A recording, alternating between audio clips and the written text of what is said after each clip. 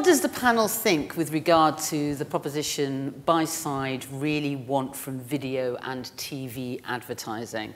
And to kick us off, um, I'm going to ask are advertisers actually actively seeking to move money over from TV to video, i.e., to make use of data targeting interactivity, or is it simply a question of following their audiences?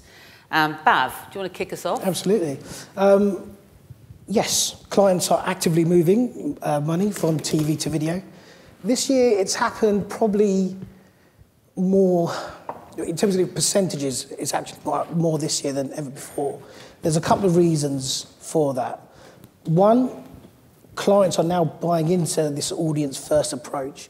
I think we've seen some great examples this year where the likes of Game of Thrones or Humans on, on Channel 4, if you look at the first episodes, only 50% of the audience was delivered in live TV. The remaining impacts were delivered through proliferation of devices, which shows it's quite compelling evidence that an audience-first approach is definitely what's required. Um, the second lever is the fact that the TV market is inflating. As impacts come out of the market, the cost of TVs increasing because revenue staying the same. Um, and many clients are coming to me talking about 2016 plans and saying, what are we're going to do about this inflation, especially the ones who are buying the younger audiences where we see inflation anywhere between 10 and 20%. Um, it means we're going to them with that audience first approach, which naturally leads to more um, investment online. Uh, and the third thing is, it's a challenge we've had as an industry over the last couple of years. It's actually having a single source panel which allows you to plan and measure TV online together. Um, what's true for us is we've been able to do that, I'm sure other agencies are either there or, or thereabouts. And it's having the ability to go to market, to media owners, getting their first party data, integrating that, fusing that with our own proprietary planning tools, and actually, for the first time, allowing us to actually fully understand the optimal investment between TV and line. So, and clients are buying into that, and, and they understand that money has to move digitally. Lina, are you seeing a major shift uh, taking place in terms of investment coming in for, to, to buy more media, video media as a media buy? Yeah, I think um, predominantly the budgets we see come from TV budgets, um, and that's the kind of starting point. And I think um, as more premium inventory is available to buy, video inventory is able to be bought, um, we'll see advertisers kind of accelerate the growth in that area. So I think the key thing is that everything that we can buy online is measurable and measurable in a different way from standard TV. So, you know, it's not just about demographics and socioeconomic data, it's about interests and behaviour. And as soon as advertise, as advertisers are seeing more of that and seeing how measurable it is, it's giving them opportunity to understand more about their audience and find different ways of finding them through online platforms and online video. I think it's, it's getting tough though. It's getting hard for advertisers to reach those audiences. Mm. Um, I think kind of uh, agencies and traditionally kind of media planning buyers live in the siloed world of, of TV and, and digital, but the consumer doesn't live in that world. Yeah. And the consumer doesn't really give a, shit or, or care where they watch video. Mm-hmm. They want to watch video on any screen, any device. So actually, that kind of that world is being disrupted by device fragmentation. Um, and whilst that's challenging, it, it kind of creates an opportunity because just as technology has changed the consumer world, actually software and technology is starting to change the way that media is, is planned and bought. How kind of brands start to engage with a true cross-screen approach from both an activation or acquisition of media, but then importantly from a, um, measurement is, mm-hmm. is really, I think, where the next few strides are, are going to change. And, and we've spoken a lot today about programmatic. Mm. And programmatic is ultimately buying media through software, and you can do that on digital, you can do that in digital out of home, now you can do it on audio. And actually, I think the interesting point, and you can do it now on TV in, in the US. So I think it's an interesting kind of uh, opportunity for agencies to think, okay, how do they work to reach those audiences across any screen device, and perhaps a different way that's been done in the past. Mm-hmm. Nick, do you think, from a strategic perspective, that um, I mean, what's your comment with regard to? I mean, you, are obviously now producing more video than ever mm -hmm. before.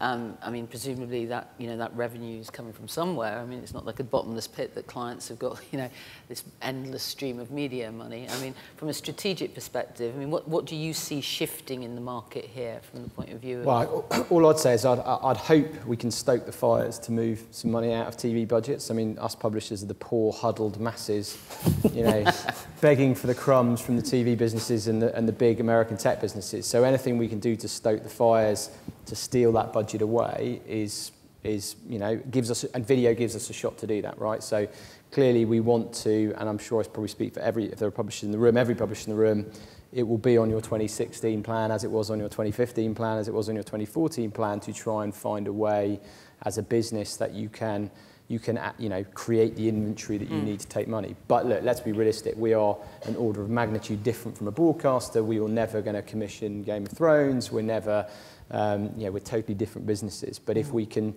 deliver AV advertising, which probably remains the most effective form of of advertising if you can get people to watch it then we want we want to play our part. So I hope that's true. Um, and yeah you're right the budgets aren't bottomless pits so clearly the online video budget is exponentially 60, 70% up year over year, that must be coming from somewhere. Okay, so uh, you know the point is you're not going to commission the next uh, series of Game of Thrones, but I mean the question has to be: Are the you know are the sell side doing sufficiently enough to you know create um, the the inventory that, that there's clearly demand for in the market? I mean, Bhav, what's your view? I think what we've been trying to tell media owners is firstly, premium inventory is obviously key as, as demand goes up, but actually work with few advertisers, create partnerships, integrate partnerships that you work with few advertisers, creating original bespoke content, uh, which is beneficial for all parties. That's what we're sort of telling a lot of our media houses to, to challenge them to, to work with our clients on. I mean, what, what's premium? I, I think it came up in one of the sessions earlier about evaluating premium um, and kind of sight, sound, emotion, as, as you say, kind of, it, it's always been the, the, tool that kind of drives brand shift. It was always been a tool that's, that's chosen to drive recall purchase intent. And it's always been somewhere that's been surrounded by content, context, environment. So that's mm. kind of premium. It's generally been before professionally created content. Um, but kind of premium is also viewability. Premium to an extent is actually making sure that right target audience, all these factors kind of actually start to interplay in terms of actually the inventory people are buying. Mm. Uh, it used to be about cost efficiency, actually, how can I reach audiences in a cheap way? Well, actually, yep. how can I start to reach audiences where they see the bloody ad? Yep. How do I start to reach the right audience and pay the right price for that right audience? How do I start to evaluate what the audience has done in terms of completion? Then more importantly, or just importantly, what's it doing to my brand metrics? All those KPIs, if you like, work towards really validating or justifying the, the, the type or classification of, of premium. Lina, do you think publishers can do more? Um, from the buyer's perspective, every time we see a publisher and, you know, we're looking at the whole programmatic landscape and when we leave it's what do we really want and it's always more premium video inventory. And I think Nick's completely right, and it's not just the content, it's where it is, it's how it's viewed, it's how the user engages. Does the user have an opportunity to see it and engage with it? Also, how long is the content? I mean, yes, publishers are producing a lot of content. Um, are they labeling it in the correct way necessarily? We, I mean, you know, it's very difficult as a buyer to know exactly what we're appearing in front of. We might know the context, we might know where it is, etc. But which video was our brand was our brand in front of, and that's really important to advertisers. And I think the marketplace is changing a little bit in terms of technology, where there is technology that is starting to be able to read more about, you know, not just where and is it brand safe, like what video content are you actually appearing in front of. I think from our side, yeah, we see great video content and we see loads of news content and loads of sports content, um, entertainment to some extent, but there are so many publishers out there with such great content and video content, but you know, I think to Piers' point, are they able to get it in front of the right audience? They might have the content there, but are they getting people to watch it? And is mm. that something the publisher needs to do more of, find ways to get their consumers to view more videos? So what's the problem, Nick? Piers. Yes. Piers. Sorry. What did I want to call you, Nick? Sorry, That's Piers.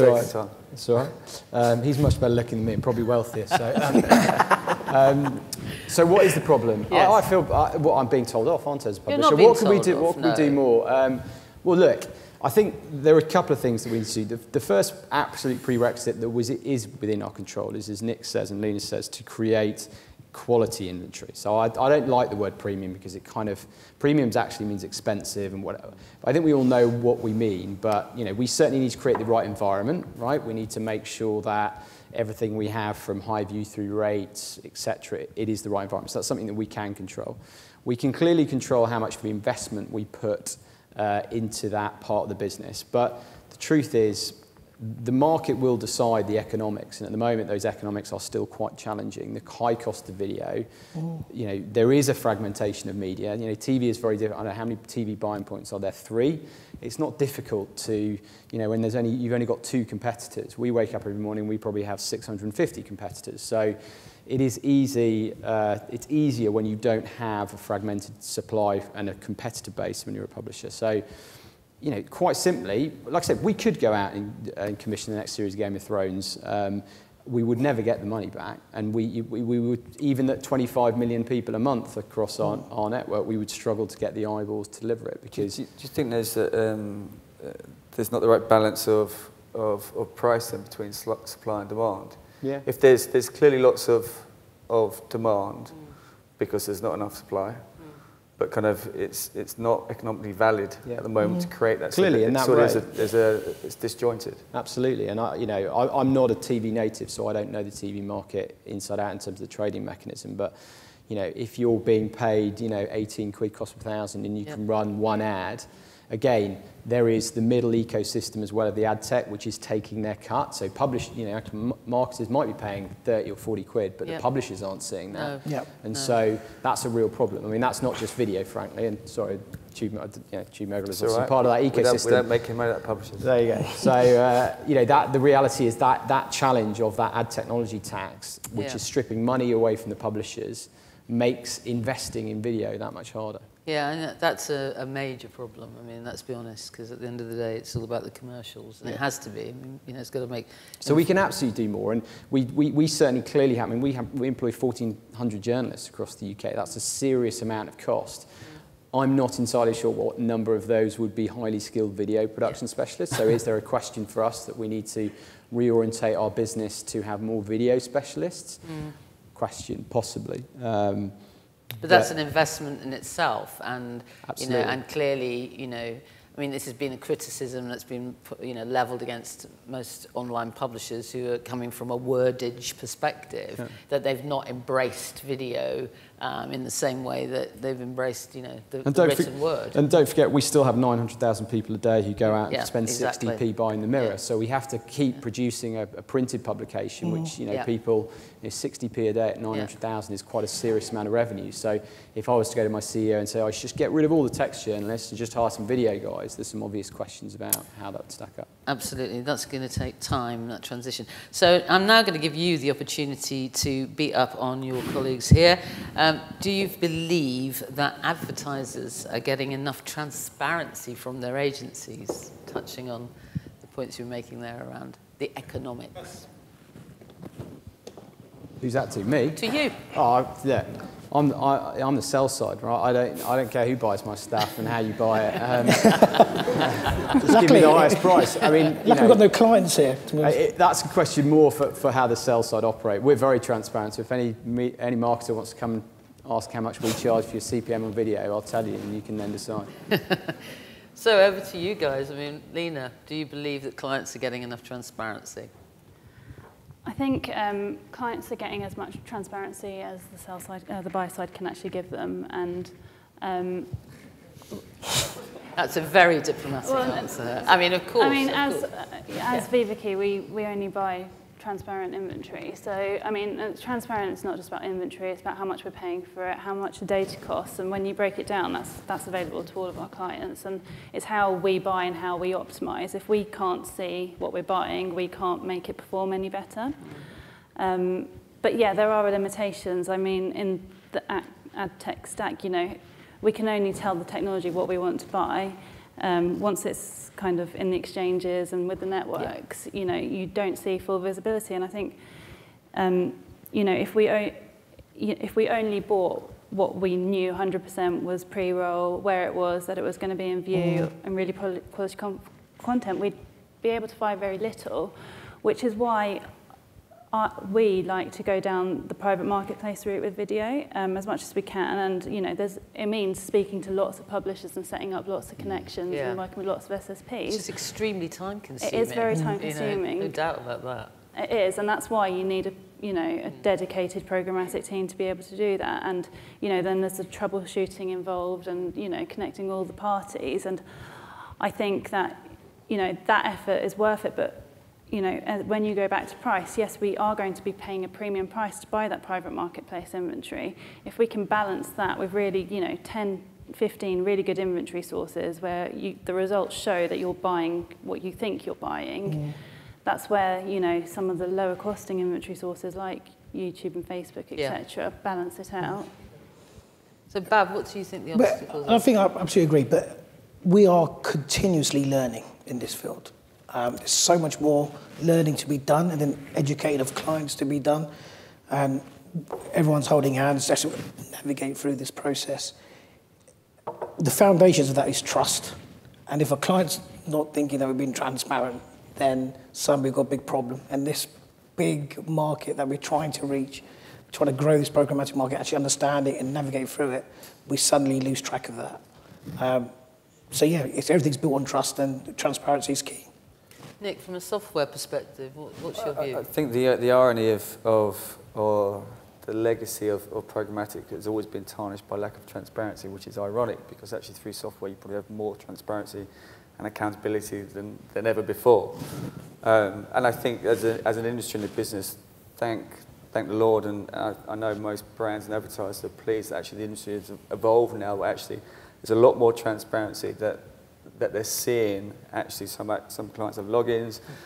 Most kind of trading desks have been integrated within the agency and given full transparency. So I think that that world's, that world's changed from an economic, economic perspective.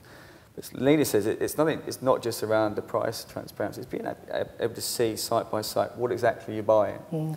Um, things like viewability. Viewability is the best thing that's ever happened to this industry.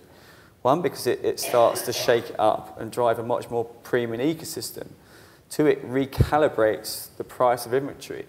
And three, you start to look at that inventory and, and work out actually kind of what do I want to pay more for. There's no such thing as you know, all inventory or all impressions are, are equal. They're not. Um, so transparency around kind of player size gives you more insight to viewability. Transparency around viewability gives you more insight to actually reach the right audience in the right place. So all these things that are driven by transparency are beneficial for agencies and advertisers. Um, as I said, kind of, it's come a long, long way in the last three or four, four years, which is kind of be beneficial for everyone in this space. We talked, uh, you know, you touched on the fact that you're buying private marketplace, uh, you know, from private, private marketplaces. I mean, is that driven because brands are uncomfortable with the concept of, you know, potentially there being huge fraud and, and the viewability issues. I mean, what, what, what, are, are brands aware of this? I mean, are they, is it kind of part of the conversation that you guys are having with them?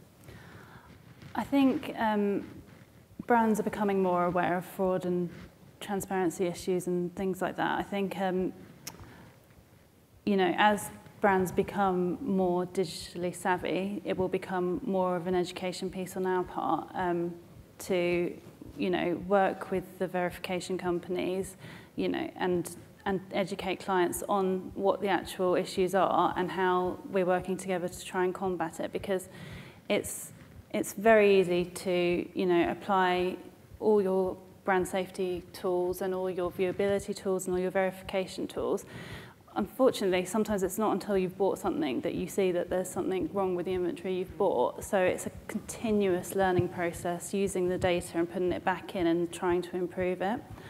Um, when we're talking about private marketplace, it is a way we feel very protected in buying what, uh, protecting us and protecting our advertisers to buy, you know, quality audiences and quality environments.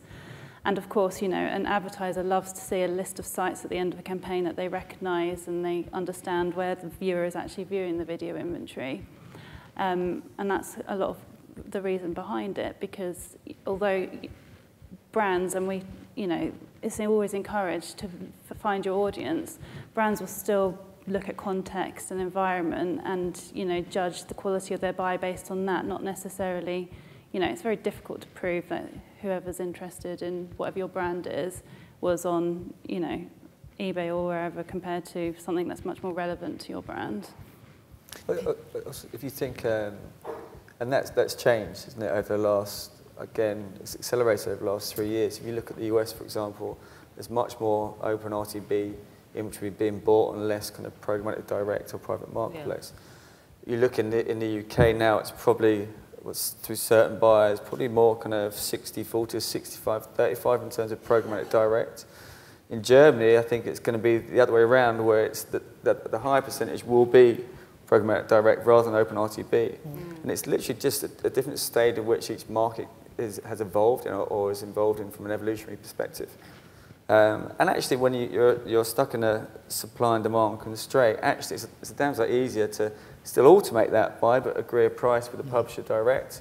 You still automate the transaction through a, a consolidated platform, but actually you're securing it. If you don't want to be in a world where actually technically I might have to bid more for it yeah. if it's open RTB. I think it's more a question about supply and demand that drives the, the, the, the video programmatic direct marketplace than anything else. I mean, um, if concerns about brand safety and fraud or display would be traded on a mm. private marketplace, and it's yeah. not. I think this is, um, and I, I, it's interesting because the publisher perspective is slightly different because sometimes we trade with people on a direct basis, but they sell on programmatically. So if you asked a sell side view of the programmatic direct versus open marketplace, it would probably be very different to the publisher, um, which still sees the market in video as almost entirely, not entirely, probably about 70%.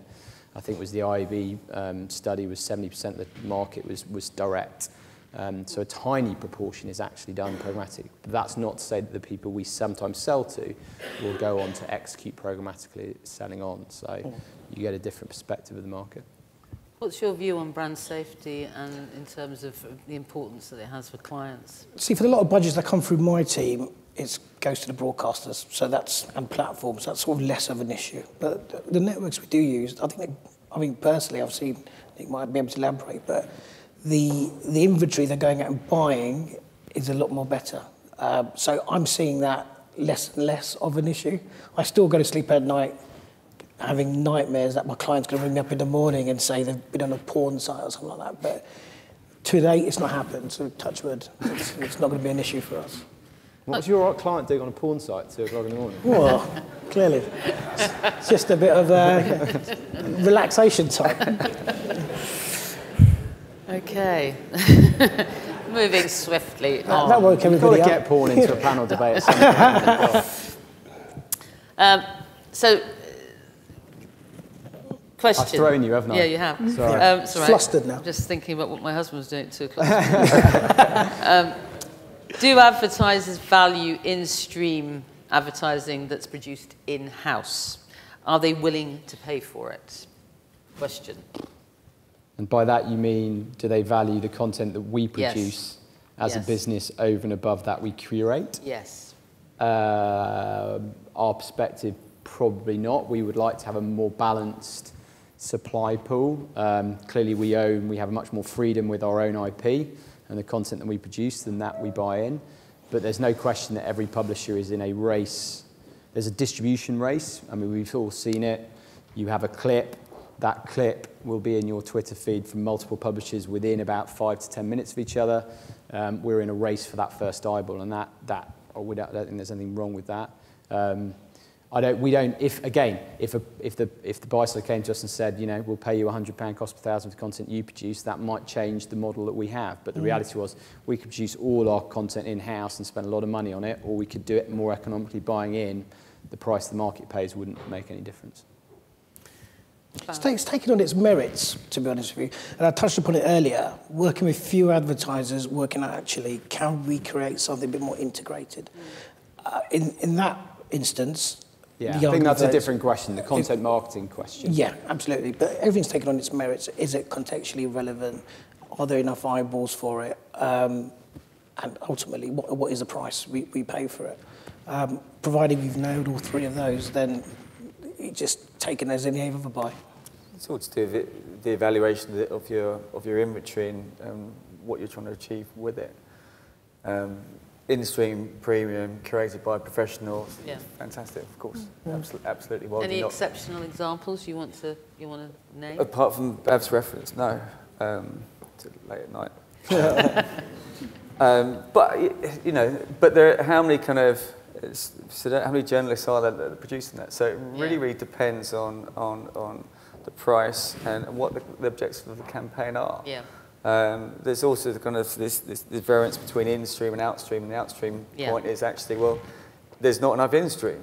Yeah. You know, um, whether it's uh, publisher partners like Teads, who we work very, very closely with, who are great, they've kind of got an infinite amount of inventory Sure. because they can just kind of, and they can give that to publishers that they work with. They can create that, but it's evaluating the kind of the right price and what you're looking to do from, from each each point. As I said earlier, kind of no, no, all it, all inventory or, or video isn't necessarily equal. No. It really depends on kind of what you're looking to achieve from that and, the, and ultimately the price from it or the viewability from it or the on-target mm. audience, etc. And Lina, do you believe that outstream formats are they performing? I mean, do you see a significant difference? Oh, yeah, abs- absolutely huge difference. I mean, at the moment, we're still trying to figure out where it fits in because it's it's not video on demand in the sense Yeah. that pre-roll is, and it's such a different kind of format. I mean, the whole point of TV advertising is to, you know, find, pe- you know, get people when they're engaged in something, and yes, the engagement comes from reading, interrupt. Well, exactly. TV, the most interruptive four-hour format ever known to man. But Karen, sorry. Yeah, so it, it's, I mean, and at the moment the pricing is just not, so the pricing is in line with what we would pay for premium, you know, Yeah. eh, you know, pre-roll, proper pre-roll, click-to-play pre-roll.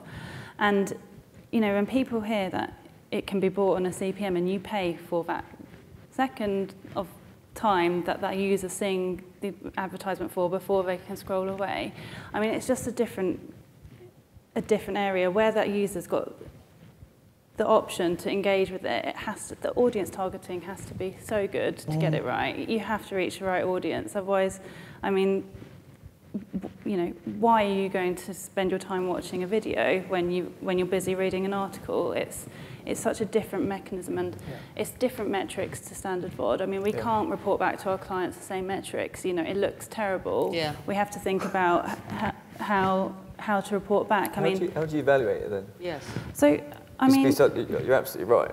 It'd just be really interesting to see, okay, okay, well, if that's, if that's the case, how do I evaluate it? How Okay. you- So if you look at a standard VOD campaign, we're, we're reporting back on, you know, cost per completed views, how viewable it is, view through rates, standard video kind of metrics. Um, we're having to look at it in a different way. And the thing with in Outstream is, yes, it is technically 100% viewable because it's not going to appear until you've arrived at that piece of content.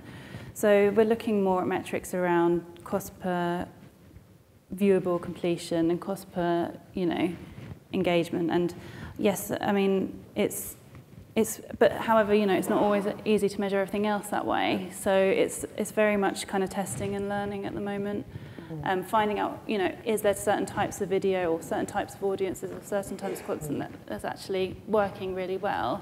And I think one thing we've kind of trying at the moment is, you know, where we're seeing very low completion rates for standard 30 second pre-roll, you know, 30 seconds is a long time to get someone to look. It's, it's very difficult for us to get shorter content from Yeah. our advertisers, unfortunately. Uh, Which is crazy. Which is absolutely insane because it's just taking the one format that's on the TV Yeah. and putting it online, and the whole the whole Yeah. engagement is completely different. I Yeah. mean, you. So we'd love to do more measurement around, you know, Yeah. fi- five second videos or 10 second Absolutely. videos. So we're not seeing that many of them, unfortunately.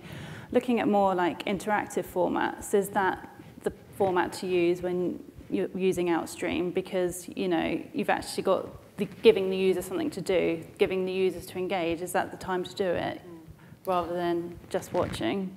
If you look at the, the exponential um, increase of, of consumption on, on mobile devices, whether it be tablet, y- y- no one's going to watch a 30 second TV ad on, on a mobile.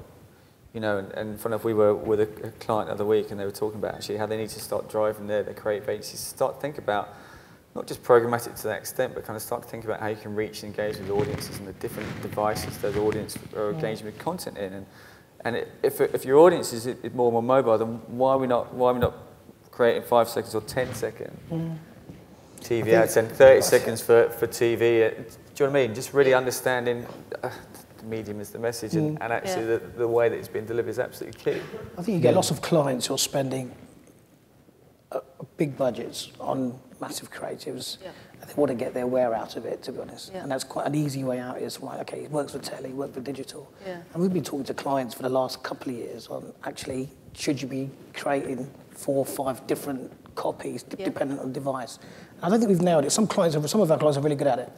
They've got a separate TV copy and they make bespoke digital copy, but majority of them, I presume, across the industry, are still not creating digital specific copies, and we still educate these guys on that. Do you see significant, but do you see a significant improvement in the performance of, of what I would describe as a sting format as opposed to a 30 second? Yeah, I think uh, completion rates. Um, I just think even just like small tweaks in the copy, like Yeah. I think there's a. fu- I mean, we've been talking. To, been around too long. We've been talking about this probably since video s- first came in, like 2001. The main problem you've got is the, the model of one ad per clip. So invariably, if you've had a client that's been paying 25 quid cost per thousand for a 30 second spot, and the agency goes to them and go, I really think you should run a 10 second ad, you just go, that's fine. I'm assuming I'm paying a third of the rate. Yeah. Now, for publishers, if it was a TV model where you just make up your three minutes worth, however many ads you can physically, fi- um, no TV before you kill me, it's not quite as simple as that. But you can have multiple 10 second ads in a three minute slot, it doesn't compromise the economics of the publisher.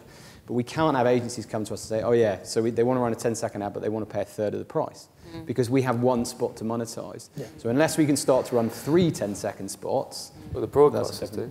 Well, they do, Well, and, but again, that's going to. But again, would a consumer sit through? Would they rather sit through three 10 second, which might be the three longest? Well, you, I think ITV run three 30 seconds Yeah. on, on desktop.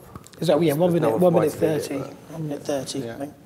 I don't think we, we need it at a third of the price. I mean, Brilliant, job done. I, I mean, 10 second inventory is infinitely easier to buy than 30 second or 40 second inventory. Well, we would love it, I mean, right? We would love it from a, from a user point of view, um, because clearly it's our biggest bugbear for, for users is sitting through 30 second spots when our content tends to be short form, um, but we can only move as fast as the market. I mean, on, and out, the outstream question is, is interesting. I think um, it's it's been very important to publishers, um, no question, because as, as Nick said, it's unlocked video in inverted commas inventory. I think it's priced, the way we see the market, it's very easy. You have the kind of rich media formats on stand display at one price. Slightly more than that is the, the outstream or in-read. If anything, this conference can name can a naming convention for what it is, but you know, you know what I mean. It's slightly more, and then pre-rolls is your more expensive. So for me, it fits right in that slightly more expensive than stand display, slightly cheaper than pre-roll. Seems fair to me. Why, why should it be more expensive than rich media display? It's, it's, Well, I guess I mean, it's you know, far you more can say- intrusive than rich media display. yeah, but I mean, you can't you can't avoid it from a consumer point of view. So, um, on that basis alone, Is it intrusive or is it integrated? Well, I always my editors always say intrusive or, or impactful. Delete as your bias requires. Um, if you're an editor, you think it's the most horrific format known to man, and if you're a sales guy, you think it's quite Brilliant. handy What do you think the consumer thinks? I think the consumer sees it as just another ad.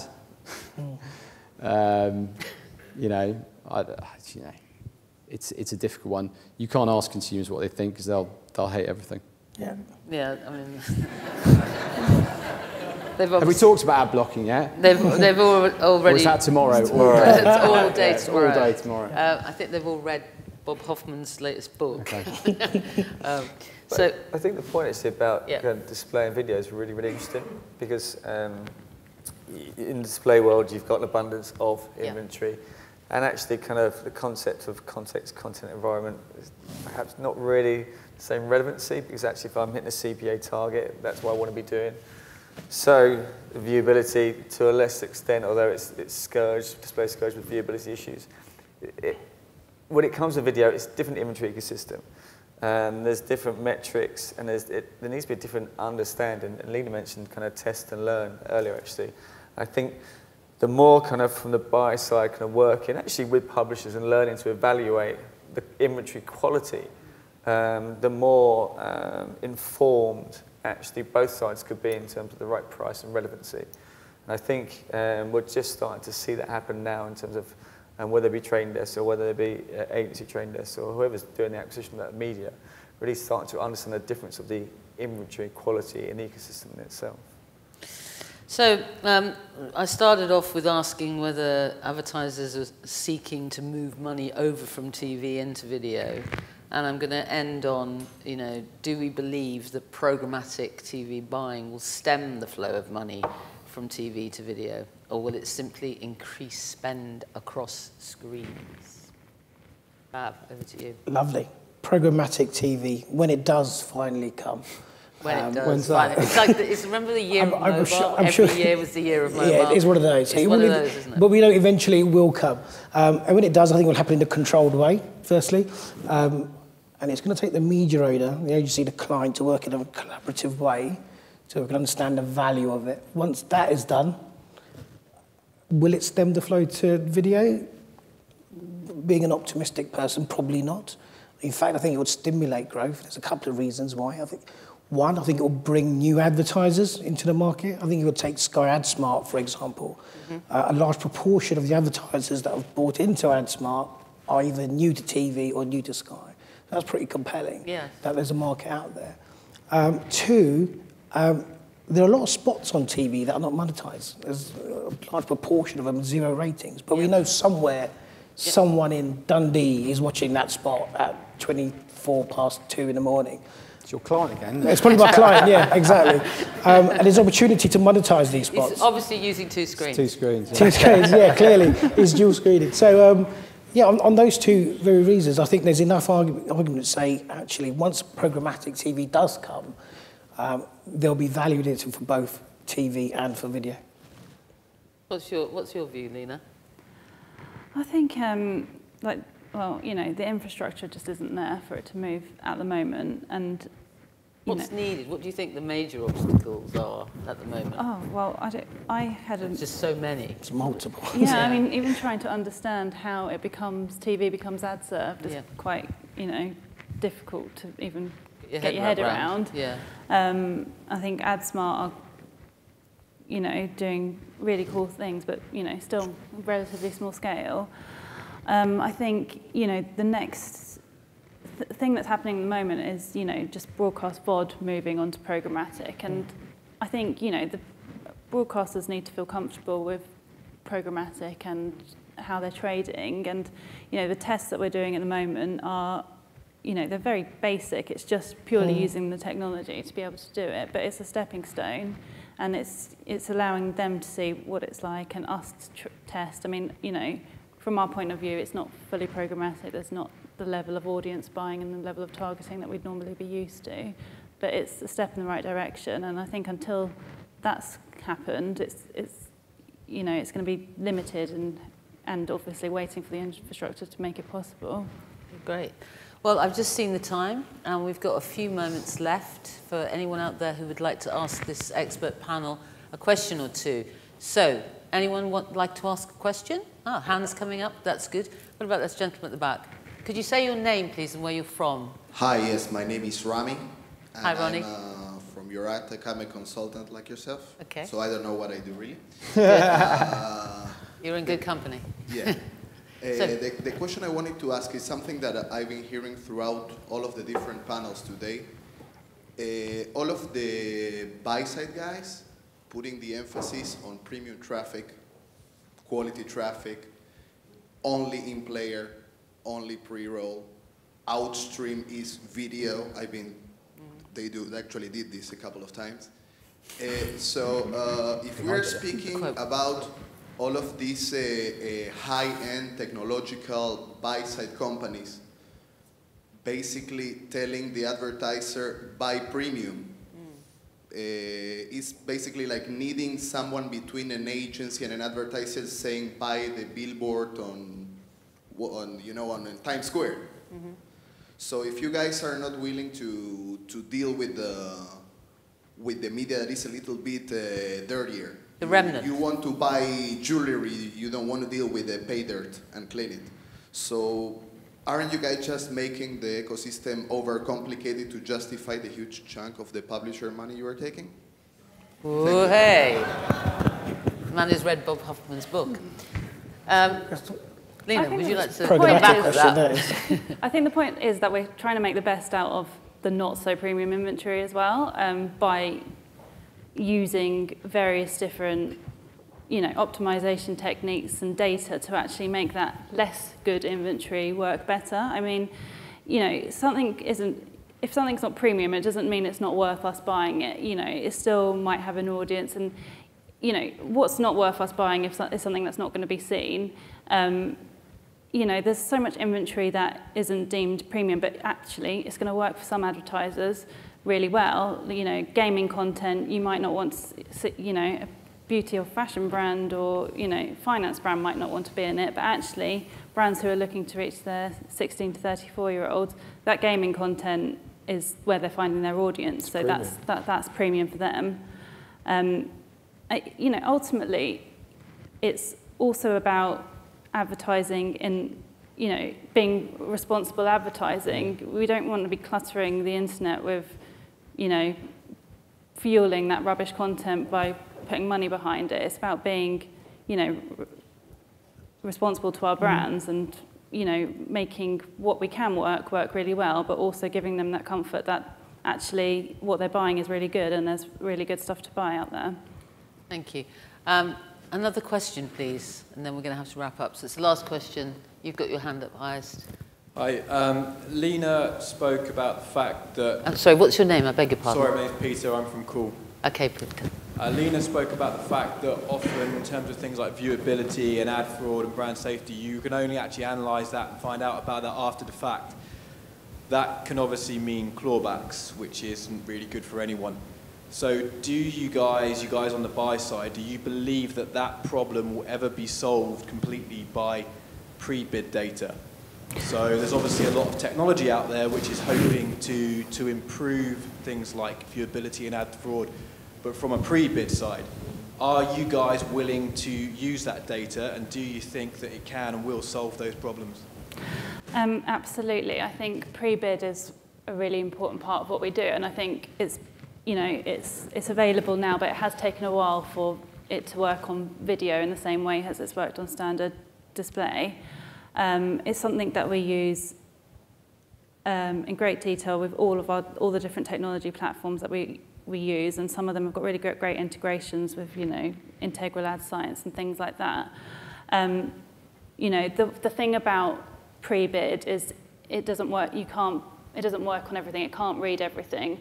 You know, there's so much video inventory that isn't VPAID, and without VPAID, you can't use pre-bid. So, you know, with, with a marketplace that is limited as it is, I mean, every, we want to trade everything on a pre-bid, you know, is it viewable and is it a good placement and is it brand safe? Um, so as the kind of players move onto, and the inventory moves more onto, you know, VPay technology and VPay players, we'll be able to buy more of it like that. But, you know, we can't run VPAID on YouTube and that's a huge kind of inventory source for us. It's, it's using the pre-bid technology where we can, but absolutely it's something that I think everyone should be using, even just for, you know, learning and, you know, it tells you, gives you loads of information. A site of 100 sites that you're buying, you know, when you're using pre-bid, you might find that actually, you know, you can only buy 50 or 60% of them. You can start to use um, pre-bid, you can look at player size as a proxy for viewability as well. And also kind of, we keep on forgetting mobile. Um, we're now running viewability in mobile and, it, it's crazy because in, we're now running uh, viewability in mobile. Um, Barney from Nielsen's not here, but I believe kind of, I believe kind of on target audience on mobile should be released in Q4, so DAR or the old OCR. So actually you can start to play on target audiences, viewable impressions on mobile with video. It's kind of, we just keep on forgetting about videos. We don't think we think in that true cross-screen way. And but it's something we really need to start thinking about. Well, on that uh, thorny issue, um, we've run out of time. Uh, I'd like to thank my expert panel this afternoon and put your hands together and uh, thank you.